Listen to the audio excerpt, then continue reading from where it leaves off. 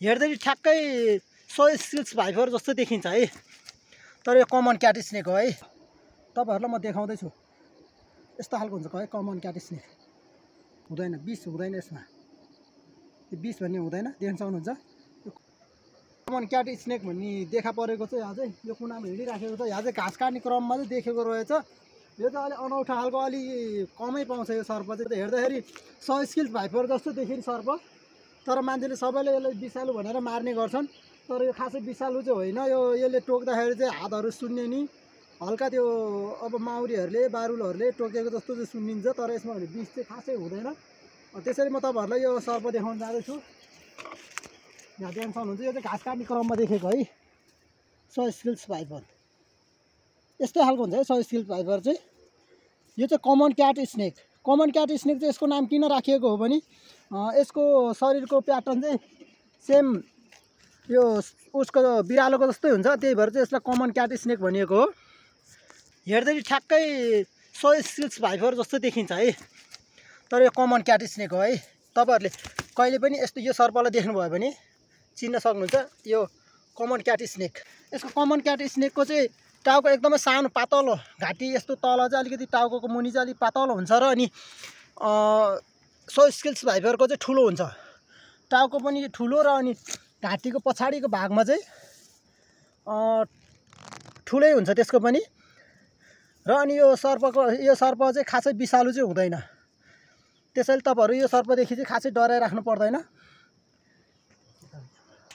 तपाईँहरूलाई म देखाउँदैछु यो सर्प यस्तो खालको हुन्छ। देख्न सक्नुहुन्छ common cat snake. Common cat स्नेकको चाहिँ टाउको टाउकोमा वाइ आकारको वाइ आकारको हुन्छ र अनि सो स्किल्स भाइपरको चाहिँ टाउकोमा भी आकारको तिर् त्रिशुल आकारको सरी त्रिशुल आकारको हुन्छ र यसको चाहिँ वाइ आकारको छ। टाउकोमा म देखाउँदैछु तपाईँहरूलाई। देख्न सक्नुहुन्छ यसको वाइ आकारको छ। जस्तै यताबाट देख्न सक्नुहुन्छ यो वाइ आकारको छ देख्न सक्नुहुन्छ। यसको टाउकोमा चाहिँ वाइ आकारको।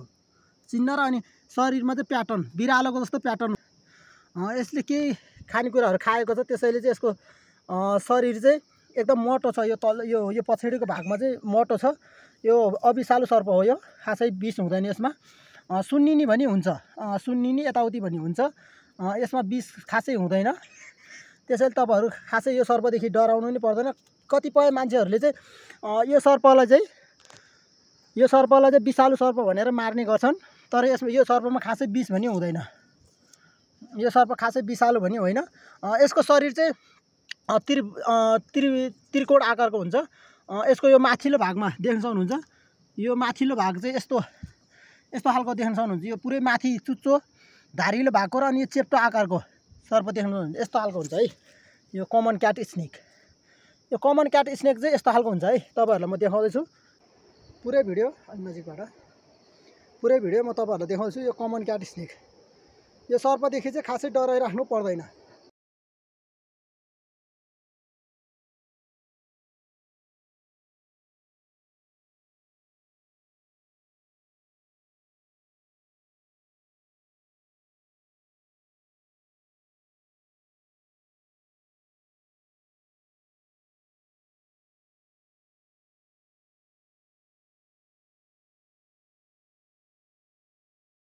यसलाई छोडिदिँदैछौँ।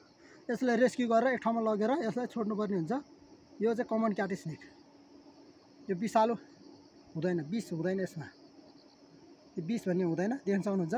यो कमन क्याट स्नेक है यस्तो खालको हुन्छ है तपाईँहरूलाई म देखाउँदैछु। यहाँ भुइँमा छोडेर नि देखाइदिन्छु तपाईँहरूलाई। यसलाई भुइँमा छोडिदिँदैछौँ देख्न सक्नुहुन्छ। कमन क्याट स्नेक यो अविषालु सर्प हो है। यस्तो खालको हुन्छ कमन क्याट स्नेक हेर्दाखेरि विषालु सर्प जस्तै देखिन्छ। तर तपाईँहरू यसरी कहिले पनि सर्पलाई समात्ने भुल नगर्नु किनकि तपाईँहरूसँग सही जानकारी सर्पको सही जानकारी छैन भने कहिले पनि सर्पलाई यसरी नसमात्नु। किनभने जुनसुकै सर्पले टोक्दा पनि यसमा विभिन्न थरीका ब्याक्टेरियाहरू हुन्छ त्यसैले तपाईँहरू यो सर्पहरूदेखि अलिक सचेत रहनु। किनभने यो अहिले अलिक जाडोको मौसम छ त्यसैले यो सर्प चाहिँ अलिक एग्रेसिभ छैन। त्यसैले योदेखि खासै डर पनि छैन। देख्न सक्नुहुन्छ तपाईँहरू है। Common cat snake saw scales भाइपरको चाहिँ स्वास गर्ने बढी आवाज निकाल्ने। यसले ठ्याक्कै एक्टिङ चाहिँ हल्का अब त्यो सो स्किल्स भाइपरको जस्तै गर्छ तर त्यो सय स्किल्स भाइपरले चाहिँ यस्तो खासै त्यस्तो गर्दैन। यहाँ देख्न सक्नुहुन्छ म तपाईँहरूलाई कमन क्याट स्नेकको शरीरको प्याटर्नहरू यिनीहरू देखाउँदैछु। सर्पहरूदेखि त अलिक टाढै रहनु। केही गरी सर्पले टोकिहाल्यो भने झारफुकतिर तन्त्र मन्त्रतिर नलाग्नु होला किनभने सर्प सर्प भनेको सर्पमा विभिन्न थरीको विषहरू हुन्छ। हिमोटक्सिक साइकोटक्सिक निरोटक्सिक विषहरू हुन्छ। त्यसैले तपाईँहरू चाहिँ झारफुकतिर नलागिकन सिधै सर्पल भने जति सक्दो चाँडो तपाईँहरू डक्टर कहाँ गएर डक्टरको परामर्श लिनु राम्रो हुन्छ। चाहे त्यो विशाल होस् चाहे अविशाल होस्। तपाईँहरूलाई म त्यही त्यही भन्न चाहन्छु यो यो भिडियो मार्फत। यसले चाहिँ केही खाएको छ। सय म एउटा अर्को कुरा पनि राख्न चाहेँ तपाईँहरू छेउमा। सय स्किल्स भाइपरमा चाहिँ के हुन्छ भने सय स्किल्स भाइपरले चाहिँ सय स्किल्स भाइपरले चाहिँ खाने भनेको सय स्किल्स भाइपरको खाने पसन्दिता आधा आरा भनेको चाहिँ त्यो छिपकलीहरू यस्तै आदि यस्तै हुन्छन्। यसको पनि सेम एउटै हो। तर सय स्किल्स भाइपरले चाहिँ बच्चा जन्माउँछ डाइरेक्ट तर यसले चाहिँ अन्डा दिएर मात्र बच्चा निकाल्छन्। त्यति मात्रै फरक छ यो दुइटामा र अनि संस्कृत भाइबरको पुच्छर एकदम छोटो एकदम डल्लो खालको हुन्छ र तिखो खालकोमा हुँदैन। यसको चाहिँ यो कमन क्याट स्नेकको चाहिँ पुच्छर तिखो हुन्छ। र यसको औसत लम्बाइ भनेको चाहिँ धेरैमा तिन तिन फुट साढे तिन फुट त्यस्तै हुन्छ। तिन फुटबाट त्यति खासै ठुलो हुँदैन। त्यही भएर यो सर्पले चाहिँ यसरी चिन्न सकिन्छ। अनि यसको आँखाको आँखाको भाग देख्न सक्नुहुन्छ यसको आँखा यसको आँखा देख्न सक्नुहुन्छ यसको पछिल्लो आँखाको भाग चाहिँ देख्न सक्नुहुन्छ आँखा पुरै यस्तो हल्का खैरो कलरको यस्तो खालको हुन्छ है त्यो सर्पमा चाहिँ। मैले तपाईँहरूलाई त्यही भनेर देखाउन चाहेँ।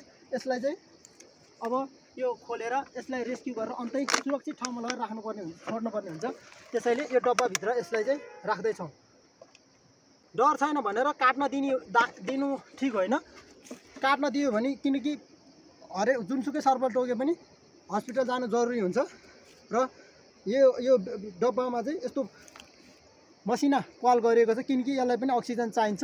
त्यसैले तपाईँहरू कहिले पनि सर्पहरू समात्नु भयो कसैले रेस्क्यु गर्नुभयो भने यसको यो पालमा चाहिँ यो यो डब्बामा चाहिँ पाल राख्नु होला पाल बनाएर मात्रै सर्पलाई रेस्क्यु गर्नु होला सर्पलाई भित्र हाल्नु होला किनभने यसलाई यसलाई पनि सास चाहिन्छ हावा चाहिन्छ अक्सिजन चाहिन्छ है। त्यही भन्न चाहन्छु। अब यसलाई सि सिधै यसलाई यहाँबाट रिलिज गरेर यसलाई यसको अनुकूलित वातावरणमा एकान्तमा लगेर छोड्नुपर्ने हुन्छ। त्यही देखाउन देखाउन जाँदैछु।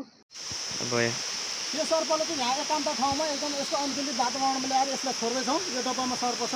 कमन क्याटिसले जसलाई मान्छेहरूले विशाल सर्प भनेर मार्ने पनि गर्छन् तर यो अविशाल पुरै अविशाल सर्प हो। त्यसैले तपाईँहरू यो सर्पदेखि खासै डरेर राख्नु पर्दैन।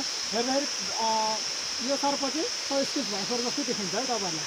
तपाईँहरूले हेर्दाखेरि पनि यो सर्पलाई चाहिँ रिलिज गर्नुपर्ने हुन्छ अब। जङ्गलमा यस्तो अनुकूलित वातावरणमा अँ, देखाउँदैछु तपाईँहरूलाई। रिलिज ल यो सर्प यस्तो खालको हुन्छन् है। देख्न सक्नुहुन्छ। यो सर्पलाई चाहिँ हामीले रिलिज गर्दैछौँ। अँ, यस्तो अनुकूलित नजिक आउनु। यस्तो अनुकूलित वातावरणमा है यो सर्प चाहिँ रुखमा चढ्नलाई एकदमै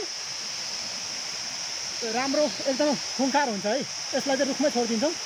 यो चाहिँ एकदमै राम्रोसँग रुखमा चढ्न सक्ने खालको सर्प हो। यो चाहिँ रुखमा प्राय यस यो सर्प चाहिँ रुखतिर पाइन्छ रुखतिर नै हिँड्छन्। देख्न सक्नुहुन्छ यसलाई रुखबाट छोडिदिँदैछौँ। देख्न सक्नुहुन्छ। यो चाहिँ रुखमा बसेर बढी जस्तो रुखमा बसेर शिकार गर्ने गर्छन्। अँ, देख्न सक्नुहुन्छ तपाईँहरूलाई। म देखाउँदैछु।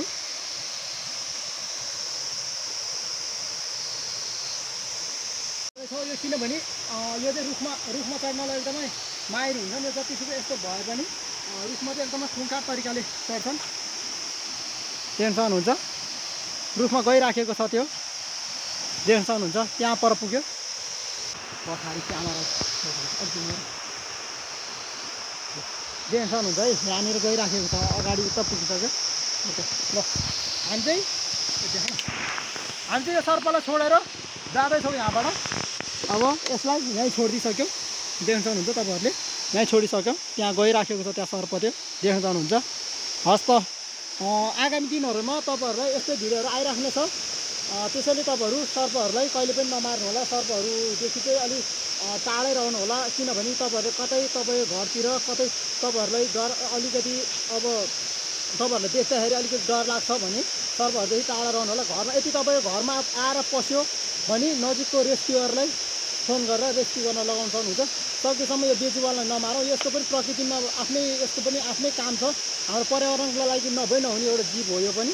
त्यसैले तपाईँहरू यो सर्पले चाहिँ मार्नेतिर चाहिँ नलाग्नु होला यसलाई बचाउँ। तपाईँ हामी सबै मिलेर हस् धन्यवाद।